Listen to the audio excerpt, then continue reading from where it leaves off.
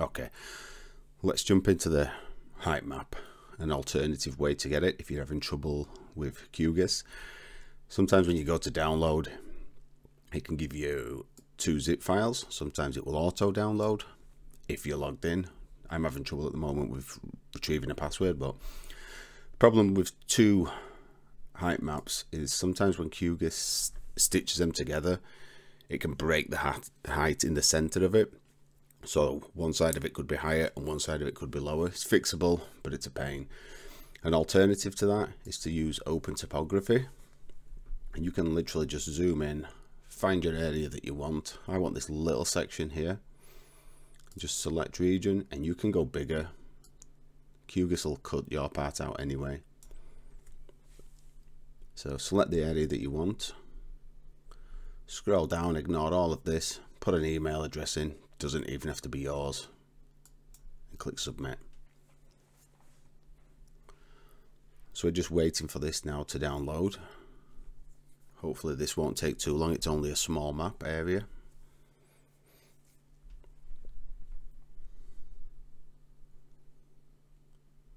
There you go. Once you've got it download the data. Open the folder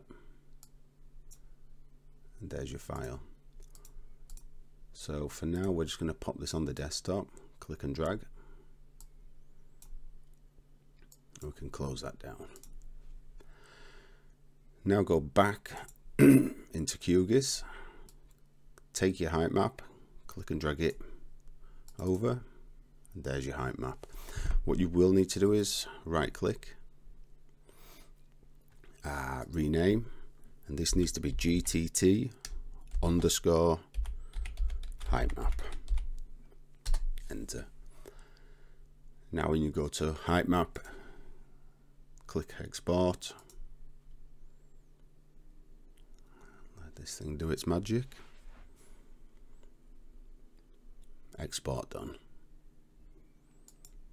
So we go to our P drive test QGIS and we've now got a height map.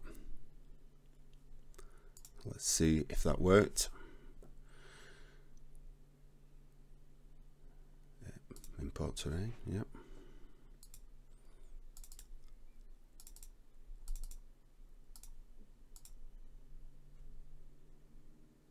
There you go. Height map completed. Job done guys